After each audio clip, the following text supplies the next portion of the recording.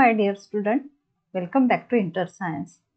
In today's video, we will discuss about test number one in Science 1. देखो जिसके आप लोग बहुत दिन से राह देख रहे थे ते वो जो टेस्ट नंबर वन है ये जो टेस्ट नंबर वन है तो उसमें कौन से वर्कशीट के बारे में पूछा जाएगा तो जो अभी तक हमने worksheet number first to four जो वर्कशीट ली ना उसके ऊपर ये टेस्ट नंबर वन है ओके अभी इसको मार्क मार जो वेटेज जो दिया गया है मार्च से फिफ्टीन और टाइम है थर्टी मिनट अभी देखो आप लोगों ने क्या करना है? कॉपी और पेन लेके बैठना है ओके और जो मैं आप लोगों को क्वेश्चन बताती जा रही वो आप लोगों ने लिखना ही है ओके तो देखो, हर वीडियो में मैंने आप लोगों को ये भी बताया कि वीडियो आखिरी तक देखना है और अगर आप लोगों ने आखिरी तक वीडियो देखा होगा ना तो आप लोग इसके क्वेश्चन के आंसर भी इजीली लिख सकते हो। तो चलो बढ़ते हैं हमारे टेस्ट नंबर वन की तरफ़। तो कुछ इंस्ट्रक्शन दी रहती है ओके तो क्या इंस्ट्रक्शन है? ऑल क्वेश्चन आर कंपल्सरी जितने भी क्वेश्चन है। तो क्या करना है? तुम लोगों को सॉल्व करना है। Scientifically correct level diagram should be drawn where necessary मतलब जहाँ जहाँ डायग्राम ड्रॉ करना है वहाँ वहाँ, तुम लोगों को डायग्राम भी ड्रॉ करना है। And numbers to the right of the question indicate full marks मतलब अगर तुम लोगों ने क्वेश्चन के आंसर बराबर लिखे तो तुम लोगों को मार्क्स भी आउट ऑफ़ मिल सकते हैं। तो देखो क्वेश्चन नंबर फ़र्स्ट तो उसमें तुम लोगों को क्या करना है? आउट ऑफ़ उसमें से फाइव क्वेश्चन सॉल्व करना है ओके okay?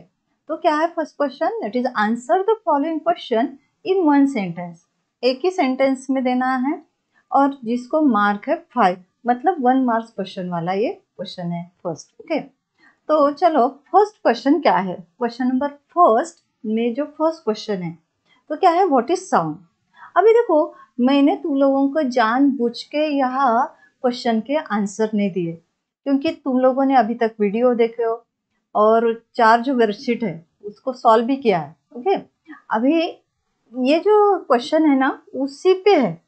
मतलब उसी कंटेंट से रिलेटेड एक क्वेश्चन है। तो फ़र्स्ट क्वेश्चन क्या है? व्हाट इज़ साउंड अभी मैं तुम लोगों को जो आंसर बताऊँगी ना ओरल बताती जाऊँगी okay sound is in the form of energy which gives the sensation of hearing this one is the answer of this question सिर्फ़ हमें क्या करना है? इसमें साउंड की डेफिनेशन लिखना है। This one is question number first first okay अभी क्वेश्चन नंबर फ़र्स्ट में जो सब क्वेश्चन है सेकंड क्या है? व्हाट इज़ मोमेंटम अब मोमेंटम क्या है?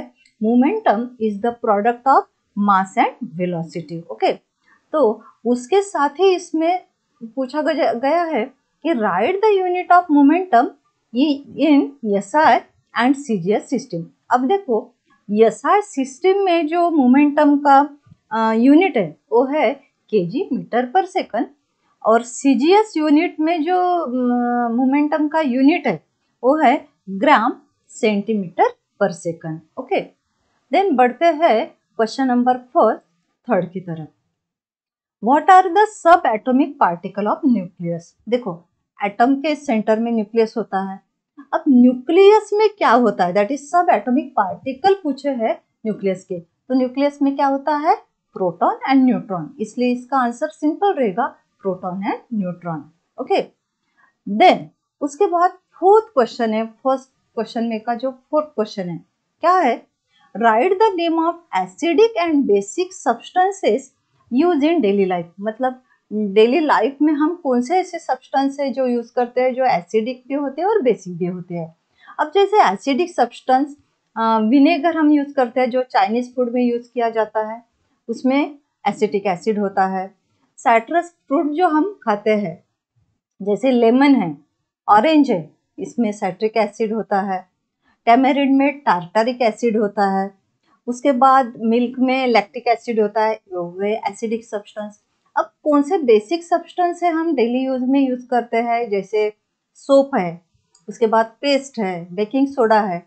These are the basic substance which are use in daily life okay उसके बाद फिफ्थ क्वेश्चन है, क्या है?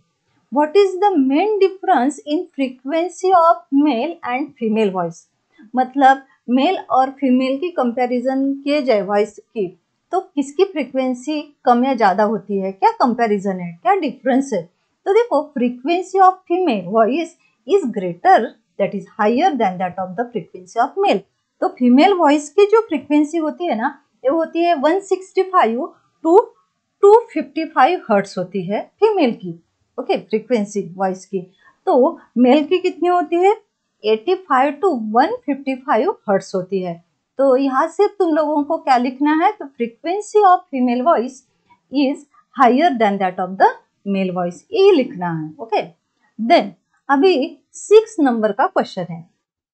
Manoj change the speed and direction of the motorcycle while riding on the winding road मतलब मनोज जब वो मोटरसाइकिल घुमा रहा था मतलब वाइंडिंग कर्व पे तो उसकी जो मोटरसाइकिल की स्पीड और क्या हो गई, डायरेक्शन चेंज हो गई। तो इसके ऊपर से क्वेश्चन है what will be the effect of velocity अभी वेलोसिटी पे क्या इफ़ेक्ट होगा? तो वेलोसिटी कब चेंज होती है? जब स्पीड चेंज होती है डायरेक्शन कांस्टेंट रहती है। स्पीड कांस्टेंट रहेगी डायरेक्शन चेंज होंगी। या दोनों भी चेंज होंगी speed as well as direction okay तो वेलोसिटी चेंज होती है। तो यहाँ तो दोनों ही चेंज हो रहा है ना? दैट इज़ स्पीड भी और डायरेक्शन भी क्या हो रही चेंज हो रही। तो यहाँ हम लिखेंगे वेलोसिटी चेंज मतलब यहाँ सिंपल आंसर लिखना है तुम लोगों को कि वेलोसिटी चेंज करके। ओके देन सेवन क्वेश्चन है कंप्लीट द केमिकल रिएक्शन एक केमिकल रिएक्शन दी गई है। ओके? और तुम लोगों को उसको क्या करना है? कंप्लीट करना है। क्या क्या है chemical reaction C A C L two plus N A two S O four तो देखो, क्या होगी इसकी reaction C S O four plus twice N A C L यही तुम लोगों को यहाँ लिखना है। एक बार रिपीट करती। C S O four plus twice N A C L okay? ये जो लाइन दी गई ना, उसके ऊपर तुम लोगों को ये लिखना है। देन एट नंबर का क्वेश्चन है व्हाट इज़ यूनिवर्सल इंडिकेटर अब यूनिवर्सल इंडिकेटर मतलब क्या? It is a mixture of several synthetic indicators in a fix proportion okay this is called as universal indicator अभी उसमें है name any two natural indicator देखो natural indicator के बारे में तो हमने रिवाइज किया था। जैसे टर्मरिक है रेड कैबेज है बीटरूट है these are the examples of natural indicator अभी देखो क्वेश्चन नंबर फ़र्स्ट खत्म हो गया। अभी क्वेश्चन नंबर सेकंड है। तो सेकंड क्वेश्चन में भी तुम लोगों को फाइव क्वेश्चन क्या करना है? सॉल्व करना है। तो चलो बढ़ते हैं फ़र्स्ट क्वेश्चन क्वेश्चन के तरफ़। लेकिन देखो, यहाँ क्वेश्चन तो सॉल्व करना है, लेकिन यहाँ मार्क्स कितने हैं? टेन है। मतलब फाइव क्वेश्चन को टेन मार्क्स मतलब टू मार्क्स ईच वाला क्वेश्चन है ये। तो चलो फ़र्स्ट क्वेश्चन क्या है? मतलब क्वेश्चन नंबर सेकंड में ए वाला क्वेश्चन क्या है? Kiran went with her parent to their newly build empty close house okay then after entering the house she was completely confused when she heard a faint and continuous sound of increased loudness while talking to her parent उसके बाद है she did not understand why such a sound was coming और उसके ऊपर से ये जो paragraph दिया गया है उसके ऊपर से क्वेश्चन पूछे गए हैं आंसर टू सम क्वेश्चन आज बाय हर फादर ओके तो चलो देखते हैं फ़र्स्ट क्वेश्चन क्या है तो देखो कौन से क्वेश्चन नंबर सेकंड में ये जो है उसमें सब क्वेश्चन है first why is there is a faint and continuous sound of increased loudness in this house because house was empty and उसी वजह से uh, repeated reflection of sound takes place and that's why uh, there is a faint and continuous sound of increased loudness in this house. Okay. उसमें है second question what is this kind of sound called उसको क्या बोलेंगे? This one is reverberation इसका answer सिर्फ़ इतना रहेगा reverberation अभी क्वेश्चन नंबर सेकंड में जो बी है उसमें है माई कलर इज़ ब्लू देखो कुछ दिया है उसको हमें आइडेंटिफाई करना है। My colour is blue there is a drop of water in my body मतलब मेरा कलर मेरा नहीं, जो सब्सटेंस है उसका कलर ब्लू है और उस सब्सटेंस में वाटर ड्रॉप है उसके बॉडी में okay then when I am I am give heat white powder is form मतलब जब उसको गर्म किया जाता है तो वाइट पाउडर क्या होता है? फॉर्म होता है। इतना दिया गया और उसके ऊपर से क्वेश्चन पूछा गया है। तो लेट्स आइडेंटिफाई हमें इसको क्या करना है? आइडेंटिफाई करना है। हु आई एम तो मैं कौन हूँ? तो मेरा कलर कैसा है? ब्लू है। और मेरे पास वाटर का ड्रॉपलेट भी है। अगर गर्म करने के बाद व्हाइट कलर का पाउडर फॉर्म होता है तो मैं कौन हूँ? दैट इज़ ब्लू विट्रियोल उसका नाम क्या लिखना है तुम लोगों को?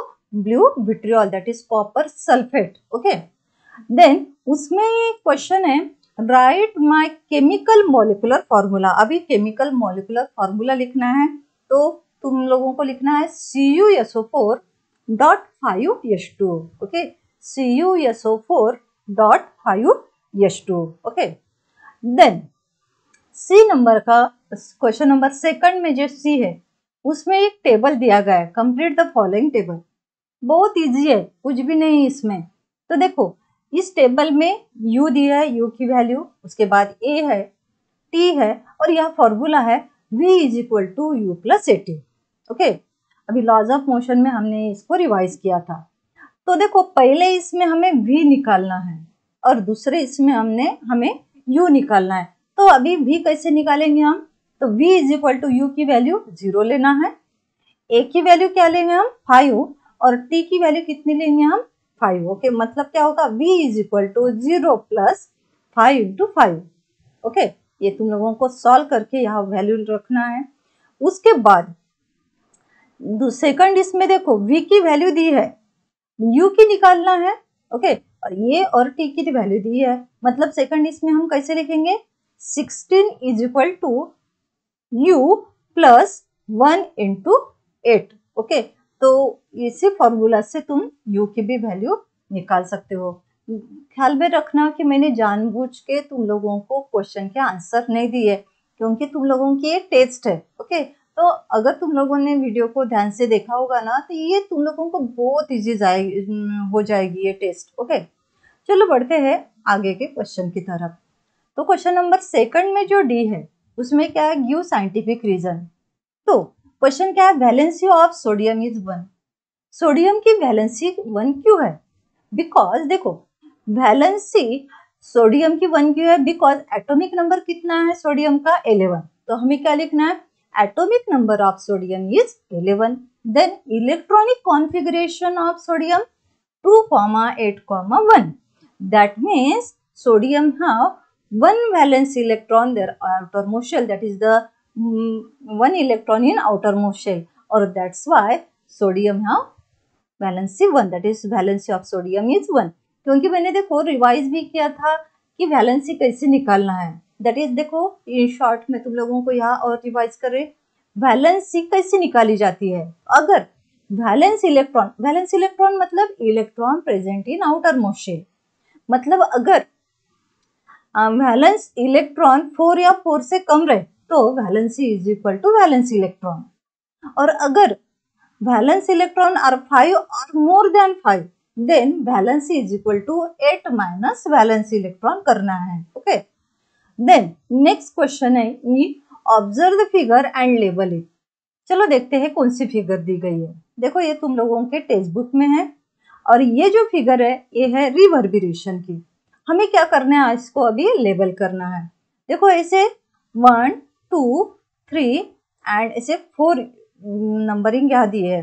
तो पहला, ये क्या है? पहला जो है this one is reflected sound okay this one is singer ये सेकंड नंबर पे लिखना है सिंगर उसके बाद यहाँ लिखना है तुम लोगों को ये डायरेक्ट साउंड थर्ड नंबर पे डायरेक्ट साउंड और फोर्थ नंबर पे तुम लोगों को लिखना है लिसनर ओके देन उसके बाद है व्हाट इज़ इलेक्ट्रोलैटिक सब्सटेंस अभी इलेक्ट्रोलैटिक सब्सटेंस मतलब क्या? तो देखो इलेक्ट्रोलैटिक सेल के बारे में हमने डिस्कस किया था। उसमें जो सब्सटेंस लिक्विड डाला जाता है, उसको इलेक्ट्रोलैटिक सब्सटेंस बोला जाता है। तो कैसे लिखेंगे हम? The substance which conduct the electricity due to formation of large number of ion that is cation and anion these are called as the electrolytic substance. Okay? Then अभी राइट डाउन देयर फीचर्स मतलब उसके character क्या है? तो it forms the large number of anions cations anions ions form करते हैं। और जब इलेक्ट्रिक करंट पास किया जाता है तो this ion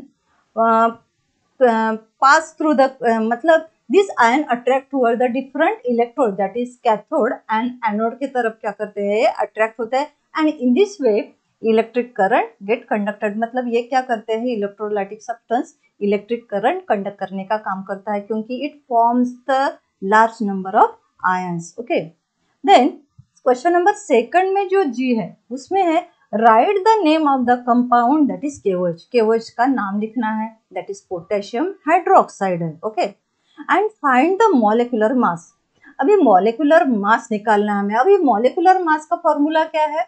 Sum molecular mass is equal to sum of the atomic mass of that atom in that substance okay तो चलो, यहाँ देखो एटॉमिक मास दिया है, जैसे पोटेशियम का 39 है ऑक्सीजन का 16 है, और हाइड्रोजन का 1 है।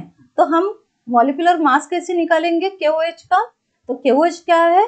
पोटेशियम हाइड्रोक्साइड नाम लिखना है तुम लोगों को।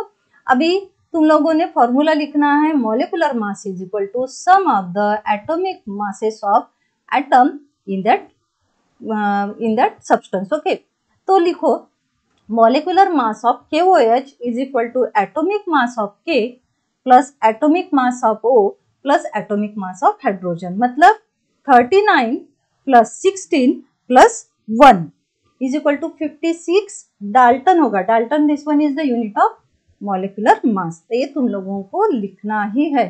तो ये हो गई हमारी पहली टेस्ट ओके तो नेक्स्ट वीडियो में हम डिस्कस करेंगे वर्कशीट नंबर फाइव और साइंस टू की ओके अब ये वर्कशीट फाइव होने के बाद साइंस टू की वर्कशीट फाइव कंप्लीट करने के बाद हम test first in science two की लेने वाले हैं ओके